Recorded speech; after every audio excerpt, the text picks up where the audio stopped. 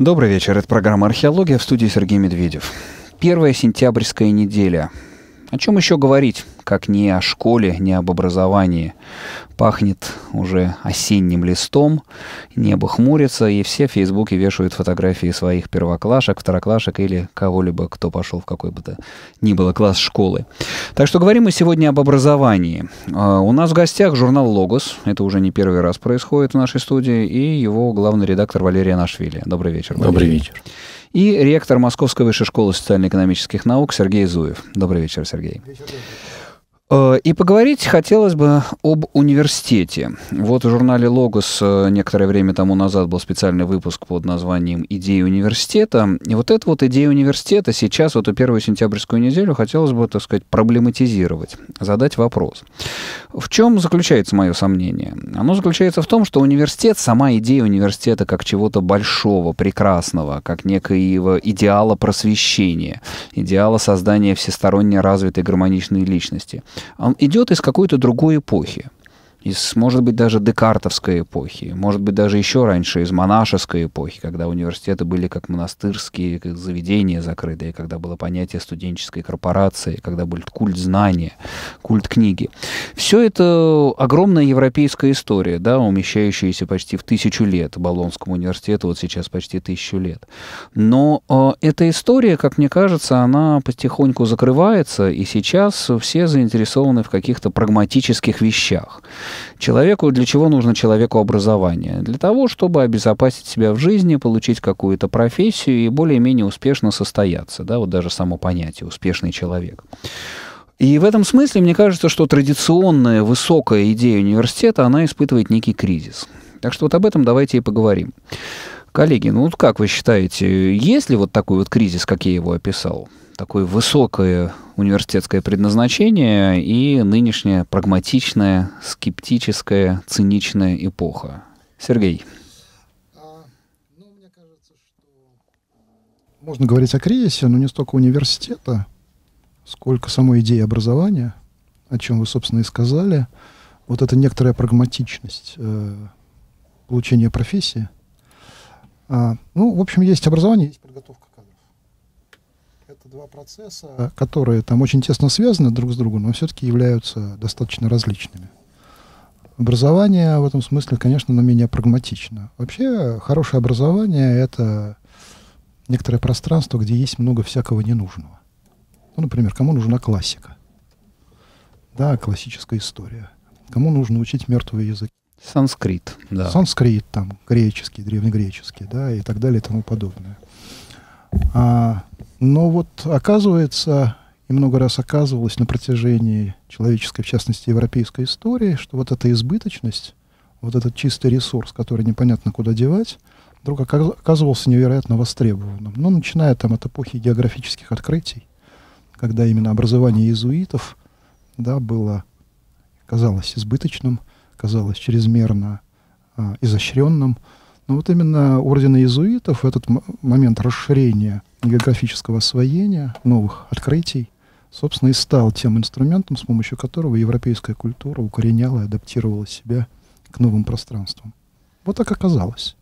Так оказалось э, в эпоху промышленных революций, когда именно там немецкие университеты, которые выстраивали определенный тип мышления, логики, формальной логики, собственно, стали а, такими источниками наиболее ярких а, событий в процессе промышленной революции, изобретений, а, то же самое случилось, Ну, и университеты, даже помните, как это битву при Садовой выиграл прусский школьный учитель, вообще не система немецкого образования. Абсолютно, абсолютно, конечно, да. И в этом смысле понятно, что Бисмарк использовал университеты как мощнейший инструмент соединения Германии, потому что появился класс чиновников, который говорил на одном языке и пользовался одними понятиями, вне зависимости от той земли, раздробленных э, земель, где эти университеты располагались.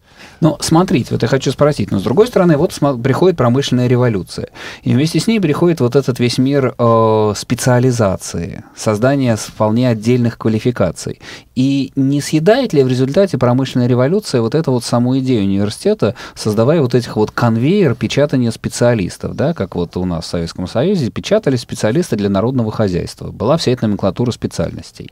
Да, конечно, была. И, в общем, сейчас очень многие говорят о том, что нам не хватает инженеров и конструкторов. Это правда. Это, это действительно так. Но при всем при этом даже эта конвейерная система производства а, предложила на образовательный рынок особый тип компетенции, а именно умение соединять эти различные операции, комбинировать, складывать из них различные мозаики. Собственно, управленческая идеология там, Тейлора да, и Форда, фордизм, а, да, конечно, там люди стояли у конвейера и производили однотипные операции. Хотя там об этом тоже можно поговорить, это не совсем так, как нам показал великий Чаплин. А вот э, такой вопрос. Сколько вообще нужно университета? Вот э, есть ли какое-то представление в обществе, какой процент людей должен обладать высшим образованием? Потому что, глядя на то, что произошло с нашим образованием за последние 20 лет, по-моему, в Советском Союзе было что-то около, там, не знаю, 20-30% населения э, получали высшее образование. Сейчас, э, извините, так сказать, куда ни плюнешь, попадешь человека там с двумя высшими образованиями. По-моему, 85, я видел где-то цифру, 85% э, у нас имеют э, высшее образование. Это нормально, Валерий? Не могу сказать точно, я не встречался с исследованиями, которые подтверждают или опровергают твои цифры. Но вернее, вернее так, не 85% населения, да. 85% выпускников угу. а, собираются э, продолжать а, обучение и получать высшее образование. Но при этом, школ. Но при этом в, Запад, в Западной Европе в университеты, как ты знаешь, поступают люди без экзаменов, поэтому туда поступает практически все народонаселение соответствующего возраста почти 100% выпускников гимназии и да, колледжей, колледжей, колледжей да, поступают в университет. Средних школ. А, и люди отсеиваются в процессе обучения. И в разных странах по-разному. Ну, там от 5% в Германии до 30% э, в более южных странах европейских. А, это процент оканчивающих университет людей.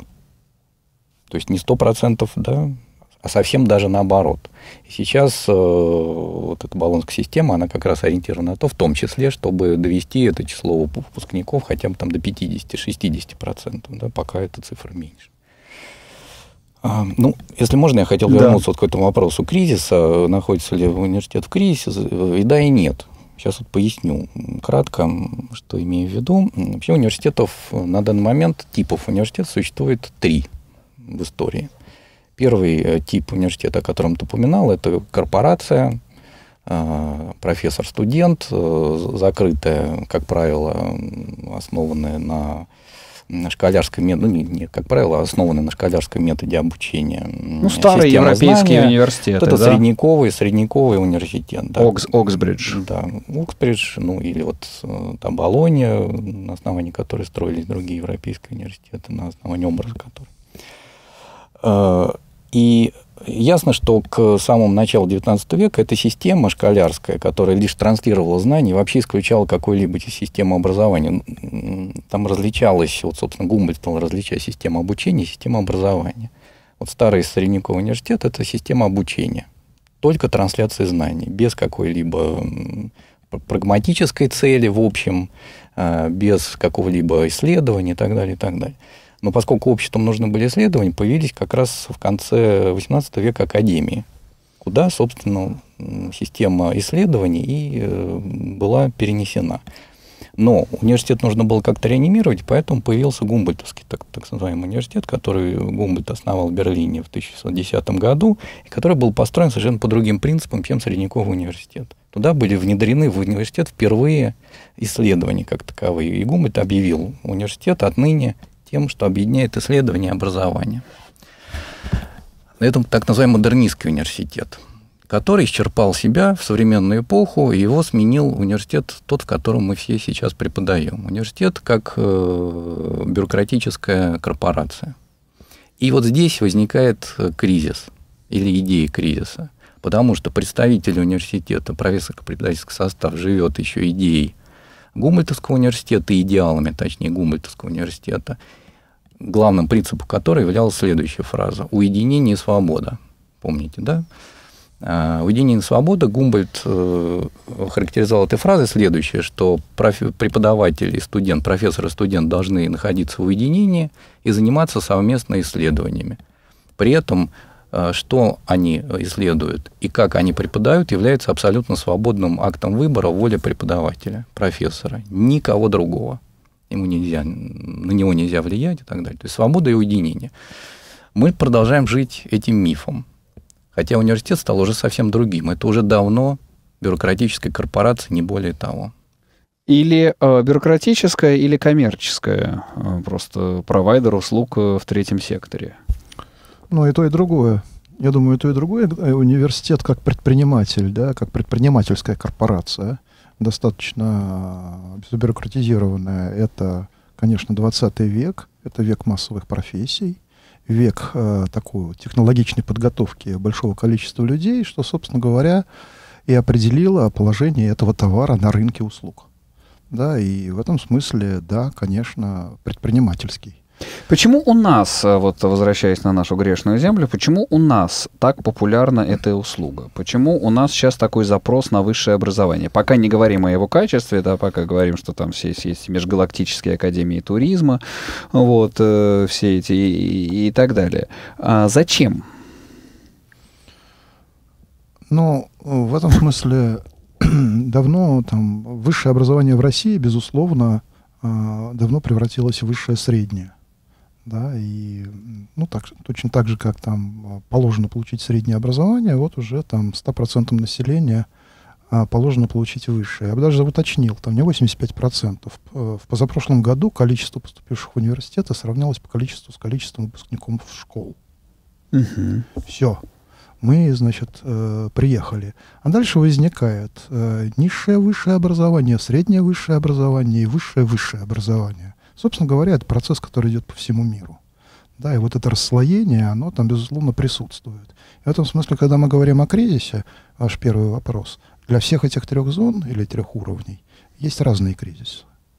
Да, и мне кажется, что для высшего-высшего, то есть для элиты, Ivy League в широком смысле, да, там вот этой лиги... Лиги Плюща. Лиги Плюща, да. А, собственно говоря, кризиса нет. Они вполне нормально. Более того, они принимают некоторые ограничительные меры. Это к вопросу о статусе образования в мире. Они говорят, что, например, не более 30% бюджета университета должно поступать от платы за обучение.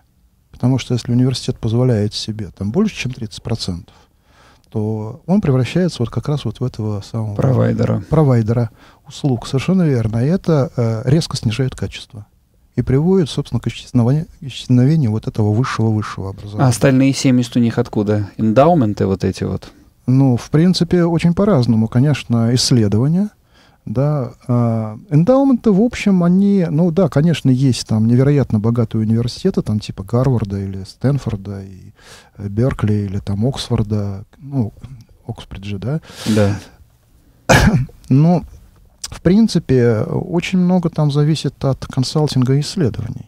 В этом смысле, в другом смысле, конечно, университет тоже есть, но уже предприниматель по-другому. Это не просто а, место трансляции знаний во времени, да, и сохранения их в неизменности, а это место возобновления знаний за счет э, тех исследовательских или консалтинговых проектов, которые во множестве в университете ведутся. Собственно говоря, там американский профессор, я вам скажу, это прежде всего орг, в смысле организатор. Да, это человек грамотный, он прекрасно разбирается в своей области, но полный профессор в какой-нибудь, я не знаю, там, а, школе бизнеса, уж тем более, ну, не, не важно, там, а, в любой области дисциплинарной, это человек, который способен сделать исследовательский проект. Он знает, как делать проекты. У него есть вот эта особая компетенция. Но это не означает ли размывание вот этого вот академического идеала, вот этого э, homo academicus, э, человека в башне слоновой кости, который там годами может готовить собственный курс, читать собственный курс. Он превращается просто в менеджера. Это очень интересная тема. Мне кажется, что вообще мы сейчас э, как бы можем применять вот эту тему смены парадигмы не только по отношению к университетам, это вообще ко всей э, сфере жизнедеятельности европейской культуры. Ну, например, там, ну, система э, пенсионного обеспечения, придуманная в Пруссии для индустриальных рабочих, средний возраст которых дожития был 45 лет, она наступала в 60, понятно, она там работала. Сейчас та штука, придуманная Бисмарком для своих там индустриальных рабочих, она точно не может работать, э, во что упираются многие страны. или там э, система здравоохранения, которая была построена в индустриальной, индустриальной платформе там, в 19-20 веке с определенным стандартом услуг, тогда она тоже переживает свой кризис. В этом смысле все институты, пришедшие из этого периода, из 17, 17 по 20 век, они, безусловно, переживают кризис и ищут свою новую парадигму. Ну вот продолжим наш разговор о кризисе университета, о том, какие из него выходы после перерыва. И снова добрый вечер. Программа «Археология». Говорим о кризисе университета. Или есть ли он этот кризис университета? Университет в эпоху сомнения, радикального сомнения, критического сомнения. Говорим с нашими гостями. Это ректор Московской высшей школы социально-экономических наук Сергей Зуев и главный редактор журнала «Логос» Валерий Анашвили. Эм, вы знаете, э, я хочу э, все-таки еще раз поговорить о тех мотивациях, помимо того, что вот мы говорим о высоком предназначении университета, о том, почему у нас люди идут в университет. Мне кажется, что вот сейчас в России, по меньшей мере, да я думаю и в мире в целом, университет превратился в некое подобие страхового полиса. Люди не совсем понимают, зачем он им нужен, но они инвестируют деньги в некую безопасность и в некую, так сказать, ну это как вот инвестиция в будущее, на всякий случай. Как человек на всякий случай покупает страховку жизни, точно так же человек на всякий случай получает высшее образование. По крайней мере, глядя на многих, не скажу на всех, на многих студентов российских, э, люди просто зачем-то выполняют вот этот вот непонятный ритуал, где они в течение там 4-5 лет приседают на корточке, делают ку, э, получают получают за это какие-то зачетки, а затем выходят в жизнь и занимаются чем-то совсем иным, чему их учили в университете. И вот мне кажется, что вот это вот какая-то произошла у нас очень сильная ритуализация э, вот этой вот университетской жизни. Отсюда почему, собственно, и коррупция, мне кажется, происходит. Потому что, кажется, зачем, собственно, если все равно я буду чем-то другим заниматься, вот, э, мне легче купить вот этот вот диплом? На мой взгляд, коррупция Валерий. происходит из э, других мотивов, а именно из мотивов, прежде всего, вступительного входа, то есть вступительных экзаменов в российские вузы. Но это отдельная история совсем. А, мне не попадались социологические исследования, которые объясняли бы мотивировку людей, абитуриентов, поступающих в высшее учебное заведение. Поясню, почему я скептически к, этому, к этой идее отношусь вообще попытки увидеть их мотивацию. А, сколько студентов работают, обучаясь в вузах? Много. Подавляющее, я думаю, число. Это да. означает, что диплом... Старшие курсы, да. Что диплом ровным счетом ничего не означает. Они уже работают. Более того, когда они получат диплом, они не получат при этом большую гарантию связанную с тем, что будут обеспечены рабочими местами. У да? нас даже вот какое-то при, при, презрительное это... название диплома корочка, я даже в других языках этого не встречал. Вот корочка изнач... это все-таки советская еще. Э, ну, мне кажется, сейчас тоже. Ну, может быть, да, сейчас немножко больше, но все равно многие говорят вот это. По-моему, вот сейчас это корочка. уже иногда даже и не корочка, а это уже чуть ли не виртуализированные какие-то объекты в интернете. Угу. Ну да, ну да. Да. То есть э, диплом является лишь фиксирующей корочкой процесса, который так уже у человека в жизни идет. Он идет. уже работает, и он уже либо продолжит работу, либо будет уволен. Это, это не зависит от, от этой корочки. Да? Так а, вот за, зачем человек... Ну, для юношей понятно, нет, где есть военная кафедра, это нет, срочка да, от армии. Ну, с одной стороны. С другой стороны, все-таки не будем забывать вечное, вечно истинное утверждение Аристотеля, что каждый человек по природе стремится к знанию. И э, это, это в общем, Ты особенно ему... молодой. Оно сохранилось? Я верю ему. Да. Сергей, вы считаете, это сохранилось э, в современном обществе? А... Просто университет эту функцию уже не выполняет. Нет, То есть он уже думаю, знаний не дает. Каждый человек, конечно, стремится к новому. Ну, человек остается человеком, если он стремится к новому, если он не равен самому себе и своей предыдущей истории. Если он э, все, он уже на пенсии, вне зависимости от того, сколько ему 17, 60 там, или 45. А в этом смысле, да, стремление к новому, конечно. Но, а, понимаете, я вот здесь вот тут несколько вопросов очень интересных. А, вот, вот известно, что порядка 70% выпускников по всему миру, в том числе из лучших университетов общепризнанных, там вот мировых лидеров, не работают по той специальности, которую они получили. И это нормально. Поскольку смена технологий и технологических платформ там, я не знаю, происходит раз в 5-7 лет уже, по сравнению даже с серединой 20 века. То есть поступая, человек еще не знает, какая профессия будет да, да, по... Абсолютно, Нет, да, абсолютно. я, Нет еще той профессии. Вот, да. Э, именно для, вот, собственно, о чем ты говоришь, э, об этом думали европейские чиновники, когда вводили баллонскую систему, они думали как раз об этом, а именно – Происходит разделение в Европе. У нас это не работает. Это удивительный парадокс. Об этом тоже стоило поговорить. Что такое балансная система? Бакалавриат и магистратура, в том числе развлечение да. вот этих двух типов образования. Бакалавриат – это подготовка людей, а, не дающая специализации, а лишь предоставляющая общую сумму знаний в той или иной отрасли. Намечающая специализация. Намечающая специализация. Контурно. То есть это означает, что человек, который закончил бакалавриат, Например, он ориентировался на, не знаю, информатику какую-то. Но в тот момент, когда э, программисты более не нужны, изобрели, изобрели какой-нибудь компьютер, который сам себя уже начинает э, программировать, этот человек берет и перестраивается, там, не знаю, в осенизаторы, потому что его бакалаврская подготовка позволяет это сделать. А вот именно магистратура это и есть та углубленная, заточка, да, заточка. та заточка под определенный Зачем нужны большое количество бакалавров? Именно в силу того, что темпы а, экономического и социального развития общества таковы, что быстро отмирают определенные профессии, и высшее образование не всегда поспевает за необходимостью подготовки кадров и выброса на рынок необходимое количество специалистов. Или уже не необходимое количество специалистов. Ну, да, да. Собственно, под это и делалась эта реформа, да. Болонский процесс. Ну, э, и... Что у нас, как ты понимаешь, не работает. И ты дальше... понимаешь, чему нас готовят в бакалавриате. А дальше... У нас дальше... продолжают готовить специалистов ну, конечно, в бакалавриате, конечно. не понимая, для чего нужно развлечение. Специалистов для народного хозяйства. Конечно. Которые по уже не нужны. По той же самой номенклатуре, все эти два нуля, точка. Совершенно верно. При том, что они, ну, за, за редким исключением, по этим специальностям работать не будут. Есть, конечно, отдельные вот э, там э, вуз-лидеры там в России, да, которые ну, фактически воспроизводит школы. А, но, в общем, их число очень невелико. А в принципе, конечно же, именно поэтому, кстати, почему Валера сказал, что именно такой бакалавриат, э, скажем, Соединенные Штаты, не потому что Америка, Америка, подумаешь, Америка, но они реально там во второй половине 20 века стали абсолютными лидерами по экспорту образования высшего. При очень плохой системе среднего, между прочим. Да, и дальше э, понятно почему, потому что они ввели систему arts потому что это система именно образования. Давайте немножко поясним нашим слушателям, что это система выбора, свободного выбора из какого-то определенного набора дисциплин. Абсолютно, да. Вот у моего приятеля, который сейчас там профессор в Оксфорде, учится девочка. Она там с русскими корнями приехала из Америки, она вот э, оканчивала бакалавриат в Соединенных Штатах, у нее там major или основная специализация по биохимии, у нее майнер, то есть вторая специализация по истории и музыке, а у него на диссертацию магистерскую пишут по истории экономики, по истории теории экономики.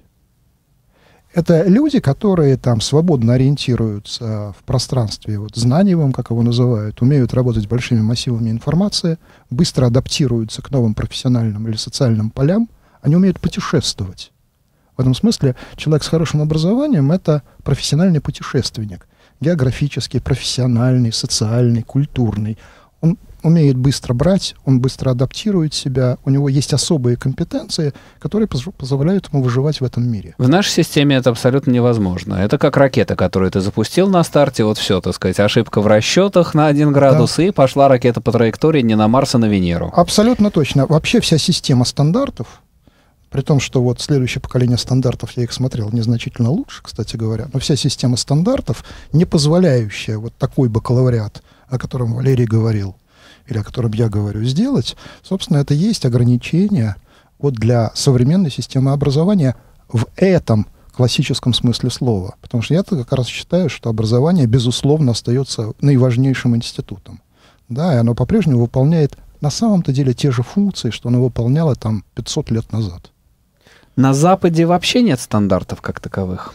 А, на, там принципиально другая система, потому что на Западе стандарты может выработать университет, но он будет отвечать за тот стандарт или там не, недостандарт подготовки, на своим дипломом. Там нет государственного диплома. Ну, в Германии стандартов, разумеется, нет никаких. Профессор создает свой учебный курс и его читает. Ну, никаких... собственно, да. Единственная лицензия является то, что ты получил там диплом Мангеймского Именно. или Тюбингенского университета, и имя этого университета уже само по себе гарантирует качество да. без минобровских стандартов. Абсолютно без минобровских стандартов. А дальше, пожалуйста, ребята, соревнуйтесь. Да, там ты можешь закончить университет Индианы, или ты можешь закончить университет во Фрайбурге, или Болонский университет, да, но в этом смысле ты а, обладатель диплома данного конкретного университета. И государство не размазывает кашу по тарелке, да, и не э, меряет там среднюю температуру по больнице. При этом вот есть любопытные факты, скажем, величина университета или величина того или иного отделения совершенно никак не связана с качеством, что не понимают наши образовательные да. руководители. То есть, например, э, в Берлинском университете 51 э, кафедра занимается, 51 профессор занимается германистикой. И германистикой в Берлинском университете на германистике учатся 5 тысяч студентов. При этом, если спросить у любого германиста в мире, где самая сильная германистика, Берлин никому не придет в голову. Придет в голову там Тюбинген и Фрайбург где в одном там 18 да, профессоров, в другом Констанция. 17 профессоров и так да. далее. То есть это парадокс, который для нас кажется парадоксом, для э, европейцев это парадокс милизм, потому что есть центры влияния, да, они не обязательно большие, и туда не обязательно вкачивать много денег, да, как выражение, когда голодно, да. ничего не растет, а когда очень много пищи, когда пища обильно растет не голова, а живот. То есть улучшение не происходит. Ну, да. Uh, ну, uh, вот я понимаю, что uh, сейчас, конечно, главное это воспроизводство какого-то не специальности, да, не какой-то определенной дисциплины, а воспроизводство некого объема знаний, чтобы человек был максимально широко образован. Вот э, если с этой точки зрения посмотреть, может быть, э, тогда очень важно получается гуманитарное образование – то есть как некое такое верхушечное, надстроечное, особенно если брать, я не знаю, такие вещи, как вот философия, например. Я здесь к чему веду? К тому вот... Э, Действительно, к чему ты ведешь. Да, так сказать, у нас вот философ, э, по крайней мере, один Нет, я с удовольствием тезис, Валерий, да, Валерий. Все помним, как, э, какой был шум в весной да, нынешнего года, 2013 когда фактически закрыли философию в РГГУ. И, собственно, вопрос стоял тогда так, что вот эффективные менеджеры от образования, которые сейчас всем рулят и, так сказать, реформируют российское образование, как одновременно реформируется российская культура, российская наука, российское здравоохранение в таком, в технократическом ключе, в дегуманитаризирующем ключе. Ну так вот, они как раз и говорили, а зачем, что толку от философии? Так вот это как раз э, в противоречии с той логикой, о которой мы здесь говорим. Ну, Тебя интересует история с РГГУ или... Ну, с РГГУ, по-моему, все хорошо кончилось. Ну, как я понимаю, нет, философия это, осталась. Это, это печальная история э, с РГГУ, потому что сама идея создания мощ, мощного гуманитарного центра, да, она, ну, к сожалению, э, приходит к своему концу. Э, но я бы сказал следующее, если отвечать на более общий вопрос. Э, гуманитарное образование, понимаете, э, в этом смысле, давайте вот один пример. Один мой приятель, будучи ректором одного регионального вуза, как-то мне говорил, рассказывал, что не могли найти хорошего математика. Ну, преподавать на какой-то там программе, там очень важной для них программе. Ну, город, хорошего математика нет. А, что такое математика? Формально-логическое мышление. Если это, собственно, не математический факультет, а математика там для других специальностей – они придумали выход. У них не было хорошего математика, но в городе жил чемпион мира по бриджу, по карточной игре. И они стали вместо математики преподавать бридж который ставит то же самое формально-логическое мышление. Да, да, теория вероятности, теория вероятности статистика. Все, абсолютно, да. все то же самое. Да. В этом смысле учебный материал может быть разным.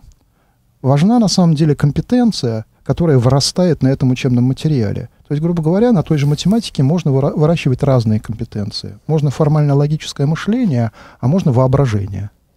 Да, аналогичным образом а, можно поступать с гуманитарными предметами. Но гуманитарные предметы просто они более гибки в плане а, а, конструкции материала, в плане подачи этого материала, в плане его накапливания и так далее. Поэтому на гуманитарных предметах, помимо вот чистой профессионализации, если ты не просто историк, если ты не просто, я не знаю, лингвист и так далее, просто можно ставить вот эти базовые профессиональные и общесоциальные компетенции.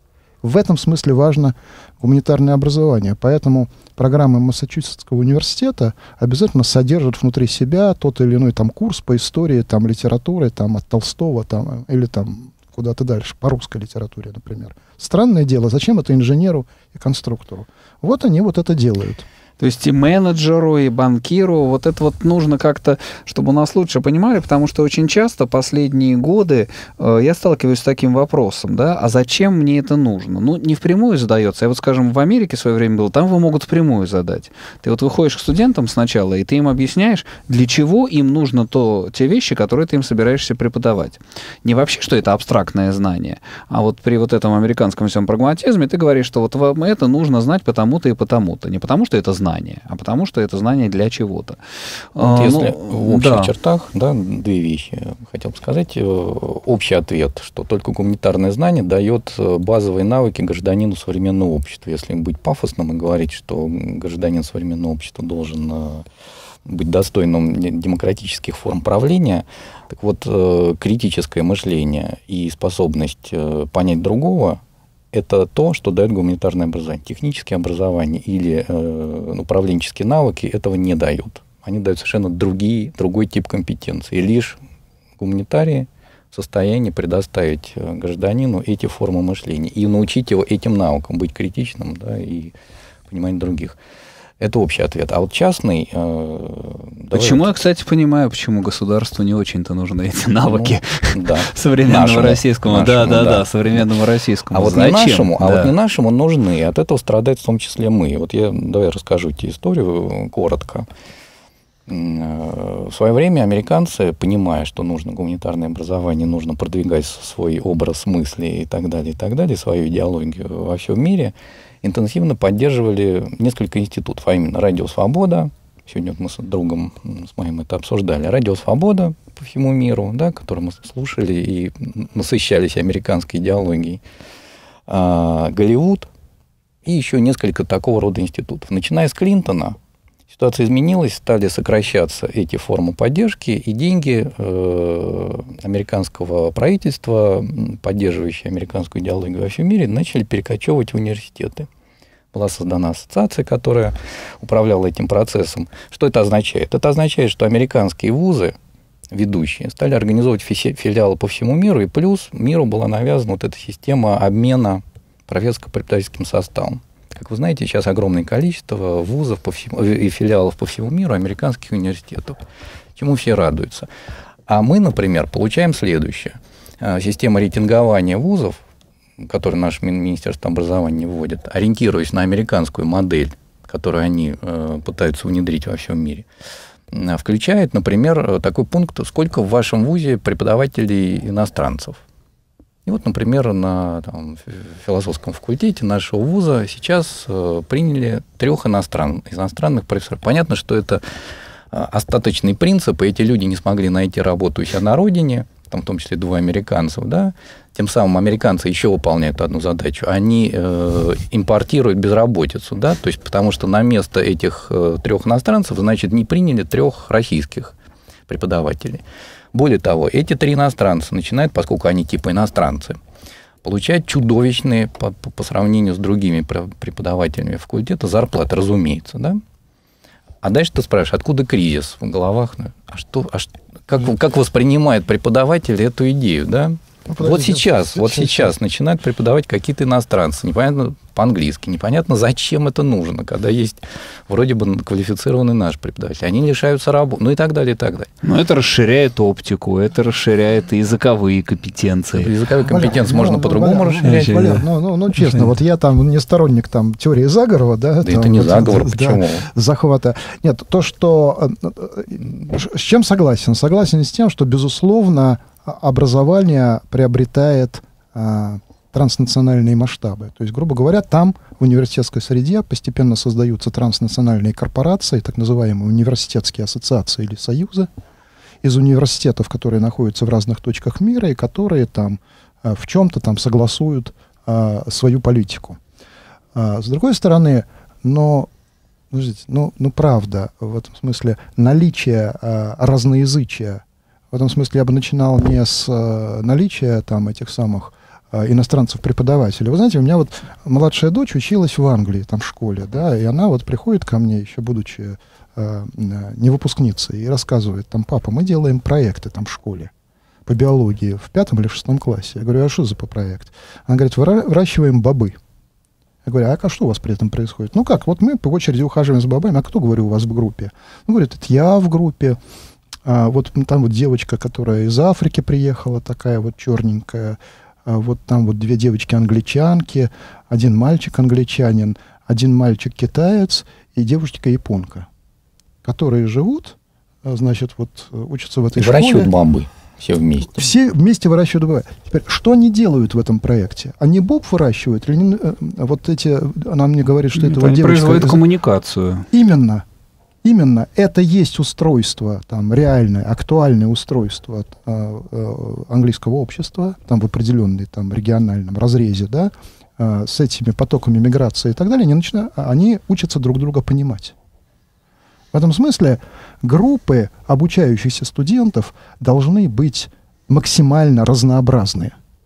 Это может достигаться за счет разноязычия, это может достигаться за счет еще чего-то, потому что это создает напряжение, которое заставляет человека напрягаться и включать функцию понимания, рефлексии и мышления. Ну вот замечательный пример, действительно, что э, мы учим в университетах не каким-то определенным специальностям и квалификациям, а мы учим понимать другого, мы учим коммуницировать с другими и как бы расшивать, расшоривать собственное сознание. Абсолютно точно. Про то продолжим после перерыва. И снова добрый вечер. Программа «Археология» в эфире. Говорим сегодня об университете, о кризисе университетского образования, о том, как университеты с этим кризисом справляются в эту первую учебную неделю нового учебного года. В гостях у нас ректор Московской высшей школы социально-экономических наук Сергей Зуев и главный редактор журнала «Логос» Валерий Анашвили. Э, вы знаете, я хочу здесь э, немножко вернуться назад к советской системе образования. Насколько советский университет отвечал вот этим вот гумбольтовским принципам? Принципам универсальности, принципам всеобщего знания. Ведь если так задуматься, Советский Союз был таким большим просветительским проектом, идущим от эпохи просвещения. Да, я поясню все-таки сначала для слушателей основные принципы Гумбольдского университета. Да, мы, мы о них говорили в начале разговора, но они были не все обозначены. Первое – это единство э, исследования и образования. Исследовательский университет. Да, второе – свобода. Вот основные, основные принципы. А что значит исследование и образование? Это означает, тут мы вначале пытались об этом сказать, а, не происходит обучение, то есть не читается никаких лекций, более того, Гумбольд настаивал на том, что преподавание, то чтение лекций профессором, является одной из форм досуга профессора, потому что основная деятельность – это исследовательская, и в связи с, э, в соответствии с ростом студента от курса к курсу, его участие в совместных с профессором исследований получает все более и более высокий статус. Диплом является абсолютно самостоятельной работой. И э, студенты на протяжении обучения должны не слушать лекции преподавателя, а должны э, участвовать с ним в совместных исследованиях, набираясь опыта, знаний э, и получая вот эту квалификацию исследователя, то есть квалификацию ученого. Ну, то есть в Советском Союзе такой идеал практически... Его и не было, в принципе. Более того, вот эта идея свободы, то есть свободного чтения лекций, да, и свободного исследования – идеал Гумбольдтского университета, он, конечно, в Советском Союзе полностью отсутствовал, потому что тотальное наличие стандартов человек не мог читать. Ну, то, были попытки к, на, я думаю, на заре. Физ, физтех, физтех, именно. Я тоже, я тоже вспоминаю Капи, про физтех. Капицевский, да. как сказать, как тоже, он привез оттуда и пытался сделать. Я, я тоже вспоминаю про физтех, наполовину, я бы сказал. Я в этом смысле с Валерой соглашусь, что в этом смысле свободного выбора предмета исследования, что, собственно, отличает именно образовательный дискурс наверное, не было, да, но включение там студента со второго курса в лабораторную работу, в исследовательскую работу, и, собственно, когда он получал возможность то, что он слушает в аудитории, соразмерять с некоторой там практикой исследовательской там или проектной деятельности. Это, конечно, было, и физтех был очень э, хорошим примером, и до сих пор остается, я думаю, там почти недостижимым образцом. Другое дело, что там были совершенно замечательные люди во главе этого движения, которые профессора, какой-нибудь академик Рошенбах, который там, помимо всего прочего, там э, э, прекрасно знал там э, китайскую поэзию там и собирал там коллекцию древневосточного искусства. Да, это люди э, совершенно энциклопедически образованные. Да, и я думаю, что это как раз из 30-х годов от Капицы, вот от этой семьи, да, и от этого, ну, семьи в широком смысле, да, от этого широкого э, гуманитарного контекста, э, который эти люди, там, помимо того, что они хорошо знали физику, на себе несли. Валерий. Я хотел сказать следующее. С одной стороны, да, можно критиковать советское образование, но, тем не менее, э, в некотором смысле было лучше, э, то есть лучше жилось было, были меньше нагрузки у профессора предательского Валерий, вот сейчас свои, свои проблемы, проблемы да, Я да. просто поясняю. Э, проводилось э, И иностранцев не брали, конкурирующих. Не брали. Да. Э, проводились исследования. Вот что происходит в связи с этими всеми стандартами, которые министерство навязывает вузам. Проводилось исследование с логической закрытое, скажем, университет Н. В нем это средний, среднестатистический университет. В 32 раза по сравнению с 90-ми годами увеличилось количество административных работников в 32 раза. Это люди, которые начинают заниматься, там несколько людей набирается, чтобы вот этот 94-й закон осуществлять, то есть по, по госзакупкам, потому что иначе, если не будет специальных людей, просто посадят все руководство университета, да. А, люди, которые пишут отчеты и так далее. В 32 раза увеличивается в среднем. При этом ставок на таких людей министерство не предполагает. И вузы не имеют ставок на такое количество увеличения административного. Это значит, что руководство любого вуза должно откусывать у профессорского преподавательского состава ставки и передавать их административным работникам. Это значит, сокращаются ставки у преподавателей при увеличении нагрузки. Увеличиваются часы. Увеличиваются часы, денег им никто больше не платит, потому что деньги передаются не им, а административным сотрудникам и так далее, и так далее. Вот внутренний кризис университета. Поэтому преподавательский состав в нашей стране резко и сильно ощущает этот кризис изнутри. Потому что каждый шаг, каждый семестр, они получают что-то, какую-то инновацию, которая ухудшает их положение. Государство душит университет в своих объятиях, фактически да, искренне желаю узнать, а что там у вас происходит? Напишите еще 50 отчетов, пожалуйста, что у вас там произошло за последние два месяца.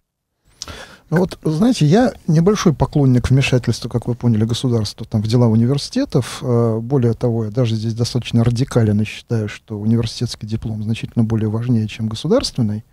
Но должен сказать, что вообще-то э, вот лучшие российские университеты, э, они по там, зарплатам профессуры абсолютно соразмерны а, с лучшими э, зарубежными университетами. Я знаю, сколько получает профессор э, гуманитарий, там, скажем, в Оксфорде. Ну, точно знаю. Я знаю, сколько он получает, там, не знаю, даже в Беркли. Там, Сереж, ну это сильное утверждение. Профессор в Германии, ну, средняя заработная плата 5 там, если полный профессор, 8, по-моему, 9 тысяч евро. Сейчас, подожди, я просто не договорил. А, я просто, о я... чем ты говоришь? Где такие зарплаты? У кого? Даже в школе экономики профессоров такого нет. Нет, я просто говорю о том, что э, я не говорю, что зарплаты в абсолютном выражении у там, российской профессора равны. Я просто говорю, что доля расходов университета на административный персонал в каком-нибудь Манчестерском университете или там, не знаю, университете в Сорбонне, доля не меньше, чем в российском университете. А что делают эти люди там? Они абс- пишут отчеты в министерство, особенно в Англии, где не, нет министерства образования. Не, не, не в Куда они там они, пишут? Адми... Там, бюрократизация а в этом смысле университетов не имеет э, национальных границ. В этом смысле... Согласен. Поэтому вначале я сказал, что современный университет – это бюрократическая корпорация. Да. И в этом смысле они, э, они кстати, там э, в той, в той же Англии пишут отчеты, и много отчетов. И э, я просто очень хорошо с этим э, в своей московской высшей школе знаком, поскольку мы партнерствуем с тем самым Манчестерским университетом, которому я очень благодарен за многое, да, но я точно знаю, что такое там спецификация программ, что, какие надо бумажки собрать для того, чтобы запустить новую программу, согласовать это с партнером и так далее и тому подобное. Там бюрократии не меньше. В этом смысле не надо идеализировать. И доля бюджета, который выделяется там на административный персонал, не меньше, а иногда больше, чем здесь. Хорошо, и что же с этим делать совсем? А, надо исключить государственное вмешательство, но как исключить государственное вмешательство без государственных денег? Ведь государство все-таки поддерживает, если брать европейскую модель и российскую модель существования ну, университетов? Конечно, государство поддерживает. В этом смысле только очень небольшая доля университетов э, может являться так называемыми самоокупаемыми. Это достаточно условно. Везде государство поддерживает университеты, но в этом смысле поддержка университетов э, в ряде стран и в ряде примеров не является основанием для навязывания тех или иных там логик поведения это совершенно другой принцип, да, вот, э, связанный с тем, что, конечно же, а, университета поддерживать ну, нужно, по крайней мере, если это в государственной стратегии считается важным. Это практически в любой государственной стратегии при конкуренции за человеческий ресурс там, в современном мире является важным. А вообще вот э, в связи с государственной поддержкой, а высшее образование — это универсальное общественное благо? Все ли должны иметь доступ к высшему образованию? И должен ли быть у людей свободный или конкурентный доступ к этому благу? Ну, это ведь, э, вот опять же, когда мы говорим высшее образование, мы имеем дело, с моей точки зрения, как минимум с тремя ну, да, уровнями. С тремя уровнями, с тремя уровнями. Низшее, среднее и высшее, да. Все ли должны иметь дело, э, доступ к высшему, к высшему? Доступ, да. Но, понимаете, вот, э, ну, я не знаю, тоже не образец для подражания, но просто для примера. Там Стэнфордский университет, э, невероятно дорогой по обучению.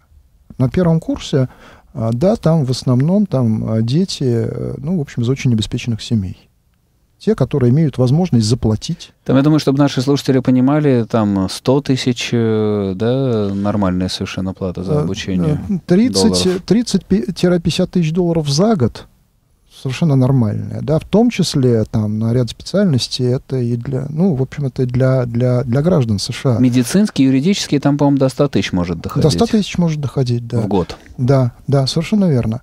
Дальше происходит очень интересная вещь. Там же действительно университет хороший, нагрузка большая. вот люди, поступившие, или состав группы, поступившие на первый курс, и состав группы, учащиеся на третьем курсе бакалавриата, там же трехлетний бакалавриат, это две большие разницы. Они просто, те, кто не выдерживают, уходят.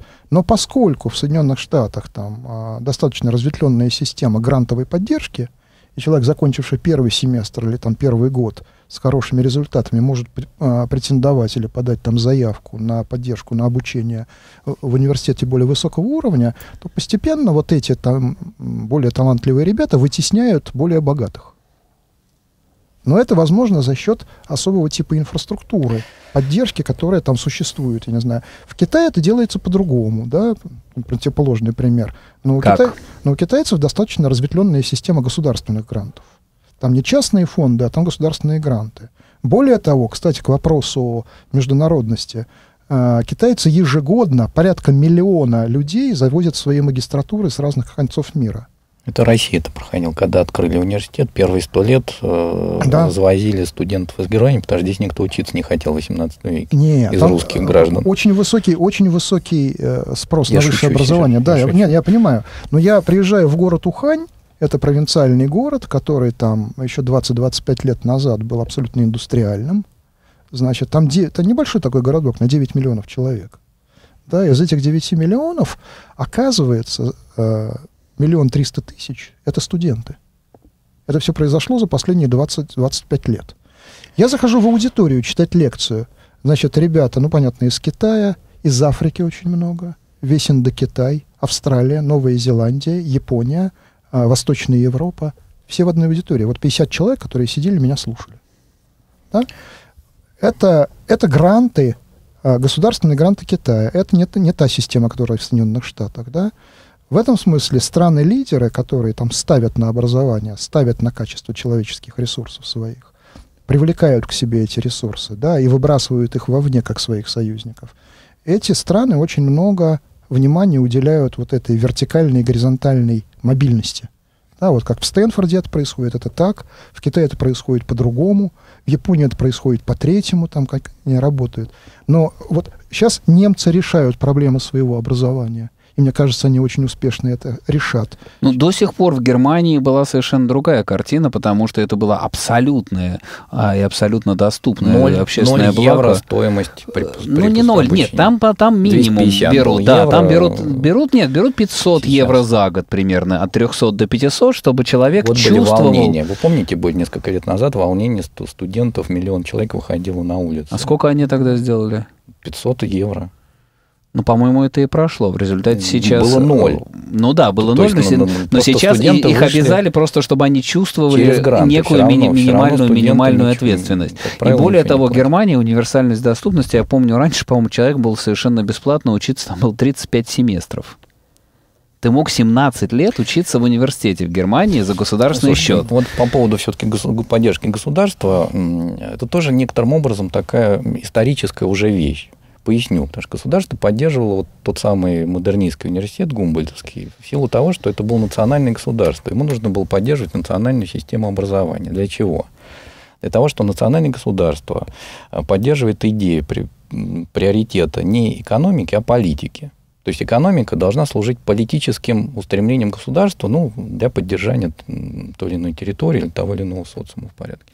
Сейчас это уже невозможно. Эпоха первая, национальное государство ушла. Второе – ну, чуть-чуть устаревшие данные, сейчас они еще подкорректированы, но буквально вот пару лет назад э, цифры такие. Из 100 самых крупных бюджетодержателей мира более 50 – это транснациональные компании. И уже менее 50 – это просто государство. Просто государственные бюджеты все годовые. То есть, понимаешь, уже транснациональные компании становятся богаче или даже отдельно богаче государств. Это означает, что финансировать э, различные типа институт, различного типа институты э, становится возможным уже не со стороны государства, которые все беднеют и беднеют, а со стороны транснациональных компаний. Ну да, вот, например, Финляндия, Финляндия бюджет Nokia, ну, не знаю, как сейчас, но несколько лет назад был больше бюджета Финляндии. Соответственно, кто, кто кого финансирует? Уже понятно, что не государство, а транснациональные и они финансируют вузы, имея в виду, что им нужны вполне определенные компетенции, совсем не те, которые нужны были когда-то государству от граждан. Ну, это, это тоже же понятно. тоже совершенно, так скажем, извращенная система мотиваций. Мы в если этом уже повест... живем. Ну, если повестку дня университетского образования, вообще образования станут задавать корпорации... Так и будет. Через 10-15 лет... Мы превратимся в, вин... в винтики в этой корпоративной машине. Да, готовьтесь.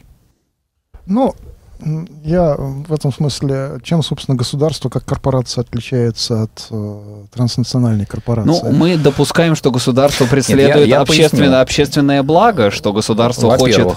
Э, я поясню. Я Сереж, бы... подожди, вот, да, ты, да. ты задал вопрос, да, да, да кратко да, отвечу. Да. Э, государство понимает, что, например, нужна фундаментальная наука. И лак исследований фундаментальной кто, науки... Кто, как... кто понимает? Государство. государство. Угу. Потому что именно она финансировалась национальным государством на протяжении 150 лет. Фундаментальная наука в том смысле, что сидит ученый, что-то там изучает элементарные частицы, которые никому не нужны, никому в жизни не пригодятся, или что такое истина. И государство это финансирует. Почему? Потому что оно понимает, что эта ценность этого знания, в общем, является абсолютным приоритетом для, для него, для этого государства. Есть, конечно, прикладные исследования и так далее вот транснациональные компании или э, любые компании, не обязательно транснациональные, да, которые постепенно становятся, э, все более и более инкорпорируются в управление современными университетами, они этого не понимают, им просто это не нужно. Не потому что они плохие, они хорошие, прекрасные люди, как правило. Не, ну они бизнес-логику применяют. Они применяют бизнес-логику. Им нужна отдач, прибыль. отдача да, на инвестиции. Должна быть одна отдача ну, на инвестиции, совершенно ну, верно. Ну, ну, ну, вот ну. и все, поэтому постепенно вымывается. Да, Валер, Валер. Сереж, ну что тут спорить, если э, за, за, последние, за последние несколько десятилетий Слушай, не приведу сейчас цифры, да, можно, можешь, поэтому можешь поспорить. Но вымывается огромное количество кафедр гуманитарных в современных западных э, вузах. Притом закры... умирает профессор, кафедра закрывается, передается какие-нибудь кафедра филолога. А, профессор, она передается биотехнологу. Ну, и так далее. Типичный случай для ну, или, западного или еще чаще менеджеру, скажем, кафедры, ну, там, да. э, не знаю, бизнес-процессов да. или там ну, корпоративно-социальной вот ответственности. Это, это нормальная как логика. Сказать? Это, нет, Первое, э, я же, я же не особенно возражаю, просто говорю, когда ты разделяешь там государство и корпорацию, у меня возникает законное недоумение, чем одно отличается от другого.